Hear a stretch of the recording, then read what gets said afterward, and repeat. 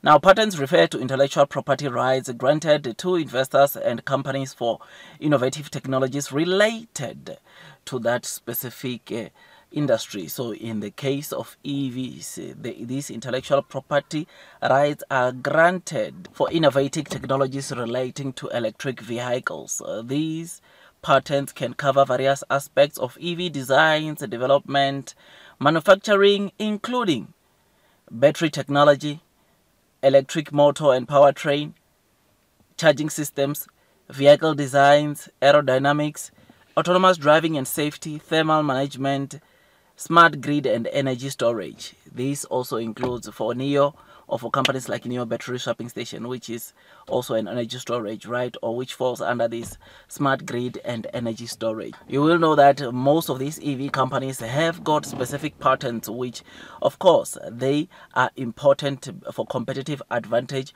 for innovation, protection, licensing, and revenue, and industry uh, standardization, right? So if you want to use the NIO's battery swapping station or if you want to build the same battery swapping stations uh, like that of NIO, you will have to pay NIO for licensing and uh, revenues relating to the technology that is uh, similar to that of NIO's battery swapping stations. Not, I know right now as I'm doing this video, CATL intends on having their own battery swapping stations and this battery swapping station cannot be the same as those of NIO because NIO already has got patents for their battery swapping station.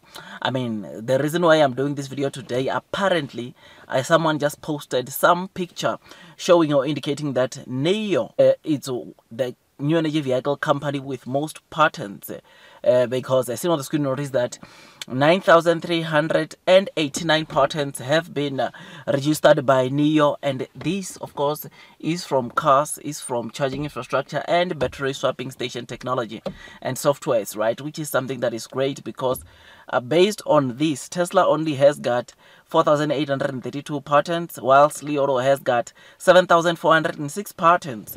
Xpeng has got 4,208 patents. Zeekr has got 3,625. And we've got Xiaomi um, having or sitting with uh, 1,657 patents. So NIO, it is the uh, new energy vehicle car maker out of these ones that are listed here with most patents uh, 9389 and i think it would make sense for NIO to have more patents because there are some things that are only being done by NIO like battery swapping stations. There is no ev maker out there globally that is uh, deploying or producing and deploying battery swapping stations. So it would make sense for NIO to have uh, more patents than uh, uh these uh, other EV companies because over and above the technologies in their cars, the softwares and charging infrastructure, they've got battery swapping station, which, like I said, it would make sense why they have uh, so many patents. So yeah, man, I am very excited to, to know that NIO has got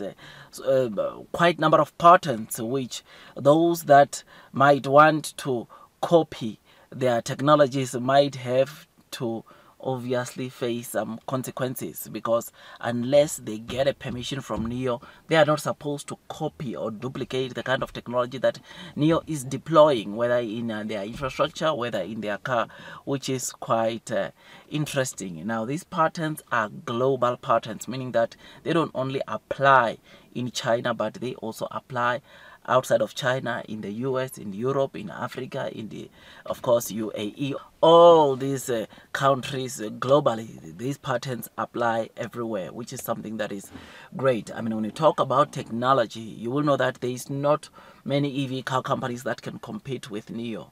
Yes, maybe by the looks, some of them they can compete with NIO, but don't talk about technology because NIO, when it comes to technology, they are top tier. It is for that reason that obviously even yesterday on the video where I was doing where Mercedes had software problems and they delayed the all-electric uh, CLA uh, sedan, uh, I said they might need to go for, to NIO because Mercedes is a high-end uh, brand and NIO is also a high-end brand which therefore it would make sense that if they want help assistance like what we saw vw reaching out to xpeng they would also have to come and try to get assistance from someone who is of their level. And in this case in china that company is NIO. So yeah man um, NIO it is that company which is set for greatness and i do not think these are the only patents that NIO is going to have. We are still going to get quite a number of patents that NIO is going to register. And who knows but before the end of this year there could be over 10,000 patents that NIO has got meaning that those that want to copy their technology uh, without permission they might find themselves being sued being paying quite a number of amount of money to using NIO's technology without notifying NIO which is why it's quite tricky even for companies like catl that want to start battery swapping uh, technology because NIO has already done it and therefore it means that the how catl makes or build their battery swapping station they will have to build it a different way than how the NIO battery swapping station is built because NIO already has got patent for the battery swapping stations, which is something that is great, something that is interesting, and it makes me to want to obviously load the boat onto NIO because I know technology NIO will always be there. I know that uh, NIO all what's just left is just the share price to realize the kind of potential that lies within NIO and then